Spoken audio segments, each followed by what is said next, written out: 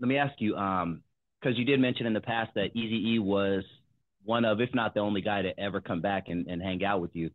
You know, after this whole thing, did you? I'm assuming you guys, you know, reconciled. Did you guys talk about it? You know, how did Eazy E start coming back around? Um, he started coming back around. He never he stopped for a while, and then when Yella started doing his porn at the studio, he would come around. He would come around before then, sometime, and just kick it with me because my where I live at is kind of quiet, and uh, he would always uh, he knew he could meet his bodyguards over here and tell a lie where he was that night to his girl, mm. and you know use my house as his you know I was on Lonzo's house and you know have uh, his bodyguards, the two twins, meet him over here. They roll out for them. I live, I live right by the freeway, so it was always easy access. No pun intended. All right, so I, I just think, man, that, uh, he, he would come by, and actually he would just he was. We never fell out. We we never had a crossword. Okay. Only time me and Eazy had a crossword was when we first met at the club, and he wouldn't get dressed right. Mm. That was the only time we ever had any kind of real. Because we, you know, he was a, he was a smooth dude. And I used to get on his ass all the time about putting my phone in his goddamn back pocket. You know, back then I bought a nine a nine hundred megahertz cordless phone, man. Oh man, okay. Nine hundred megahertz cordless phone go all over the all over the back. That was the shit. You can go everywhere with that joint.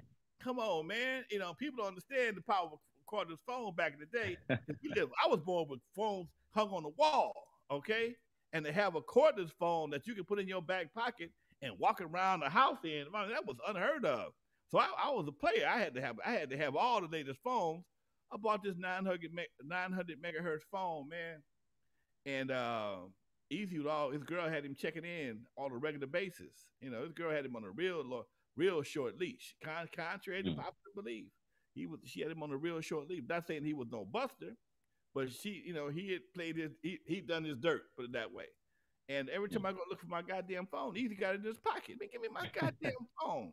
Or he have it off the hook so long the battery would die. So these are kind of little bullshit issues we had. We never had no real, we never had no argument, no fight, nothing like that. We, in fact, all the years, I was telling somebody the other day, all the years and all the crews I've had in my house, all the Bloods, all the Crips, all the essays, I never, everybody respected me and respected my house, man. Mm-hmm. I never had issues with anybody like that. You know, every once in a while the guys would have a problem with each other. I tell them we we over here for one thing to make music and make money. If if if you ain't got part of that, get the fuck on.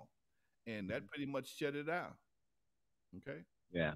Can you see that? You always a pe- Say it again. I can't see the chat room. Can you see the chat room? Yeah, yeah, I got you. I got you here. Let's see. Let's see. DJ Wick says, "What up, Lonzo and Dusty?" Teddy Styles Shout out Long Beach says, uh, Lonzo, when was the last time you seen or spoke to Eazy Alive? I, I think we talked about that, but go ahead. I mean, you know, Eazy Man about uh about six weeks before he died. Okay, I spoke to him about maybe six weeks before he died. Um, he was over here. Uh, know, he was he he you know he was just he would pop through or whatever. He was that he was admin. Um, Yella has stopped doing his, his start doing his start doing this porn someplace else. But Eazy still would pop through from time to time. And I think I saw him about six weeks before he died, man. you know, he was healthy as me and you, man. You know, that's why I always had my doubts from day, day one what his what his uh, cause of death was. That's just me. Mm. Yeah, we don't want a big brother coming down on us, so we probably shouldn't speak on that too much more. Yep. but um, Reaction Jackson says, was Jerry Heller really Dr. Dre's manager before Jerry met Eazy E? Uh, yes, because uh, Jerry Heller was Wreckin' Cru's manager. That's why. Okay. Got it. Jerry Heller. Jerry Heller. Uh, at first, I didn't mess with Jerry Heller. I didn't mess with none of them because um, my good friend Etta James had warned me about of Jerry's business partner, Maury Alexander. Hmm. Maury uh, and Maury was into the blues game long before uh, before him and Jerry got together, and Maury didn't have a good reputation. And uh, um, when uh, I told Etta James that I was working with Jerry Heller, and she says, "Ain't that ain't his partner Maury Alexander?" And I'm like, "Yeah." I don't know about Jerry, but Maury ain't you know he ain't to be trusted. And she's you know she said some things. And I told him what she said. And he was gonna sue her for defamation. I said, if you do, I'll never work with you again. Okay.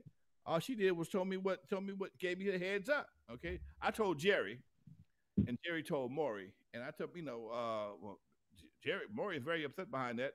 He's thinking about suing her for defamation. I said, if you do, we're done. Okay, we're done.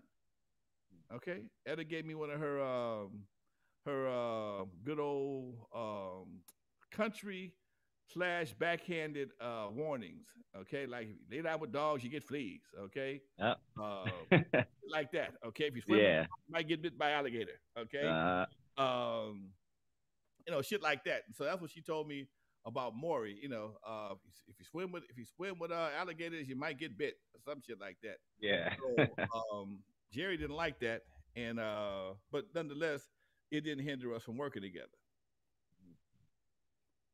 Got a couple good questions in here. Um, oh yeah, we have a few good questions. I like this actually. You guys are writing the show for us. Thank you. Mr. Jody four one nine says, Lonzo, how did you learn the business side of music so well?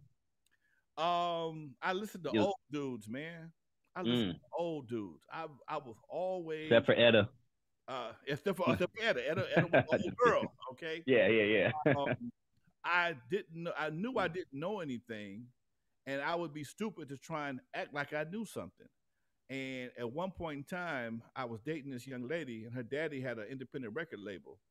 And the dude, I, I go by to meet the dad. I'm all got my chest all stuck out. Pops, she tell her pops, "This is my new friend, my friend Lonzo. He owns his own record company. He got the Wreckin' Cru. Blah blah blah." And Pop say, "Oh, he, he Pop started giving me a little a quiz. Well, who your publishing company? I don't know. Uh, how, how many records you sell? I don't know. Um, uh, you BMI? I asked him. I don't know. This is what this what the dude told me. He told his daughter, Shell, come get this dumb motherfucker. Get him out of my house. He too goddamn dumb to have a record company and not know what what's going on. And her dad, who was still a friend of mine right to this day, he's like 78 years old, still a friend of mine right to this day. Uh, Swamp Dogg took me, him and his wife, took me into their wing and gave me a lesson in record 101 that I could you can't get at USC, UCLA, or no other no other U, uh, SC school. And oh.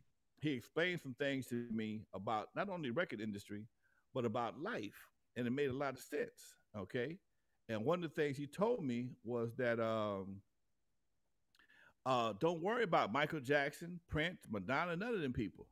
Get you a lane that works for you and stay there. Okay. And he said it's a whole lot of money between where Michael Jackson sits and where you stand at right to this day. He says his, his, stage name is Swamp Dogg.